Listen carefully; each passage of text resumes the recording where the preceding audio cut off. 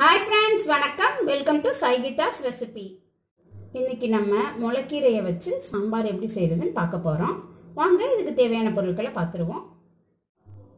ஒரு கப்பு துவரம்பருப்பு அதை அலம்பிட்டு மஞ்சத்தூளும் பெருங்காயத்தூள் நல்லெண்ணெய் விட்டு வேக வச்சு எடுத்து வச்சுருக்கேன்.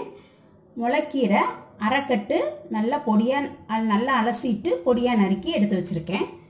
சின்ன சைஸ் நெல்லிக்காய் அளவு புளி அதையும் ஊற வச்சுருக்கேன். சின்ன வெங்காயம் கிடைக்கலன்னா நீங்கள் பெரிய வெங்காயம் எடுத்துக்கலாம். ஒரு பத்து சின்ன வெங்காயத்தை இந்த மாதிரி நறுக்கி வச்சுருக்கேன். பெரிய சைஸ் தக்காளி பொடியாக நறுக்கியிருக்கேன் சாம்பார் பொடி ஒன்றரை ஸ்பூனு. தாளிக்கிறதுக்கு வடகம் எடுத்து வச்சுருக்கேன். வறுத்து பொடிச்சு போடுறதுக்காக இந்த ஸ்பூனால் ஒரு ஸ்பூன் கசகசா ஒரு ஸ்பூன் சீரகம் அரை ஸ்பூன் சோம்பு இதால் ஒரு ஸ்பூன் தேங்காய். அதை வறுக்கணும். வாங்க எப்படி செய்யறதுன்னு பார்த்துருவோம் சாம்பாரை வதக்கி விட்டுறலாம். ஒரு பேன் வச்சுருக்கேன். இதில் ஒரு ஒன்றரை ஸ்பூன் அளவு கடலெண்ணெய் சேர்த்துருக்கேன். ஒரு ஸ்பூன் நெய் சேர்த்துக்கோங்க. டேஸ்ட்டாக இருக்கும். ஆப்ஷன் தான். வேணான்னா நீங்கள் ஸ்கிப் பண்ணிக்கோங்க. நம்ம வடகம் போட்டு தாளிச்சிருவோம். வடகம் இல்லை அப்படின்னா கடுகு உளுத்தம்பருப்பு வெந்தயம் சீரகம் போடுவோம் இல்லைங்களா? அதை சேர்த்துக்கலாம். பொரிஞ்சிருச்சு. பொரிஞ்சு வெங் சின்ன வெங்காயம் சேர்த்துக்கலாம்.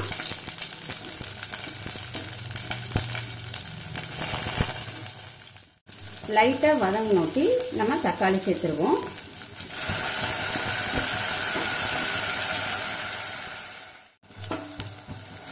தக்காளி இந்த மாதிரி வெந்துருச்சு. இப்போ உப்பு சேர்த்துப்போம்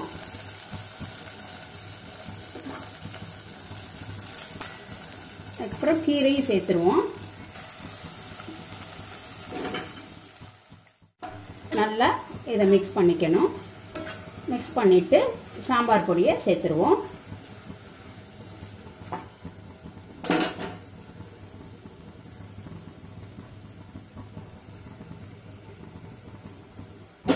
இதையும் மிக்ஸ் பண்ணிவிட்டு தண்ணி ஊற்றி நம்ம வேக வச்சுப்போம்.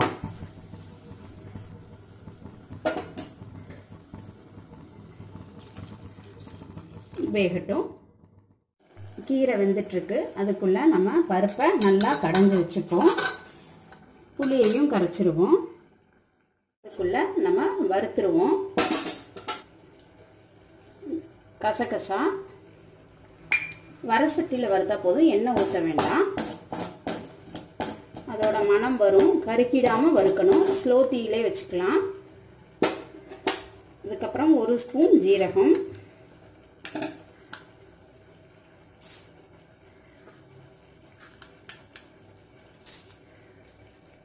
அரை ஸ்பூன் சோம்பு. இதெல்லாம் போட்டு நல்லா வறுத்துக்கலாம்.